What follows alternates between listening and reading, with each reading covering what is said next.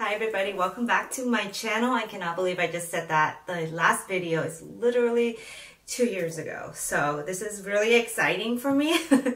um, okay, so today's video, let's just get to the point. Today's video, I am partnering up with Mented Cosmetics and we are gonna go over different ways we can powder our face. This is a loose setting powder by Mented Cosmetics and they have three different colors. This one is light tan, medium deep, deep rich. So for today's video, I'm, I'm going to be using these two colors. Mostly this light tan one, um, but I'm going to dip into this one just to show you guys how to contour and things like that with a loose powder. So one of the ways that you can use this loose setting powder is before your foundation. Basically set your primer before foundation. You can apply it straight on to your primed skin. Now what this does is it kind of serves as a barrier between your skin and the foundation that you'll be applying and it will thicken up your foundation. So if you don't want that much coverage, you can skip this step. But this is one of the ways that you can wear your powder. It's like setting in reverse. You're basically setting your face first instead of setting your face last. Now, obviously, you can also set your face later, but this is a nice way to kind of skip setting your face later. Um, if you don't want to look very powdery, if you don't want to look too matte, but you still want your foundation to last really long, this is a great step. All right, so now that I've blended out all the powders, I'm gonna go in with my foundation. If you want your foundation to be super thick and like heavy coverage, you can use a matte one. But just know that because the powder is already on your skin, it's going to thicken your formula. So if you use a stick foundation or something like that, like a super matte foundation, you're gonna get a really heavy coverage and sometimes you don't want that. So just beware.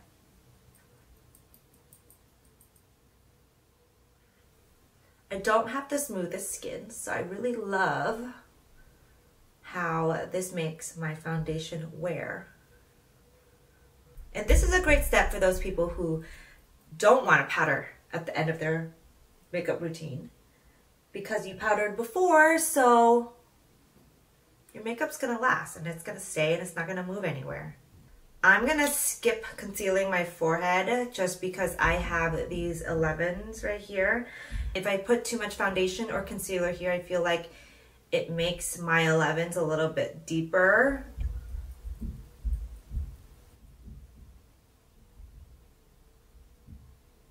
All right, so my face definitely feels very matte.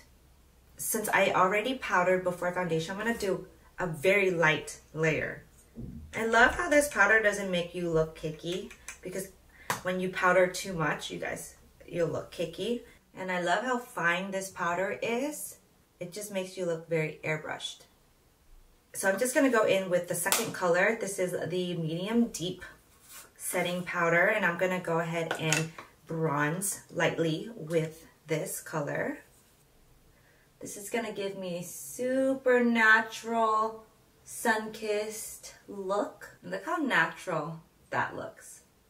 I love bronzing my face with powder it kind of just blended in and it makes me look like I have that natural bronzy glow. All right, so now going in with the actual bronzer by Mented, I can carve out my cheekbones without it looking super harsh.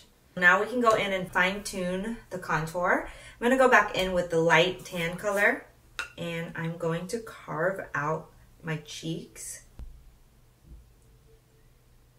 I'm gonna take a small fluffy angle brush on the medium deep powder and I'm gonna go ahead and lightly, lightly contour my nose as I'm dusting off that powder. Bronzing and contouring with the loose setting powder gives you such a soft finish. There's no harsh lines. Everything just blends in together. Before I add gloss, I'm gonna go ahead and finalize my lips I'm gonna take a little bit of this powder again. Alright, I'm going to clean my lip liner with a little bit of powder.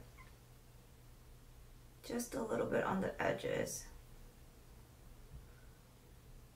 And then I'm using my finger just to blend it into the skin.